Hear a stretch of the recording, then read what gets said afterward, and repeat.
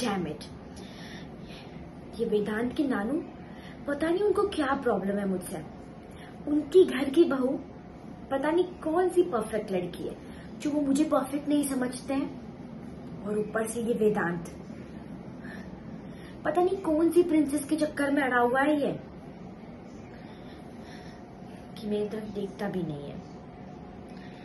attitude हाँ उफ तुम्हारा ये एटीट्यूड वेदांत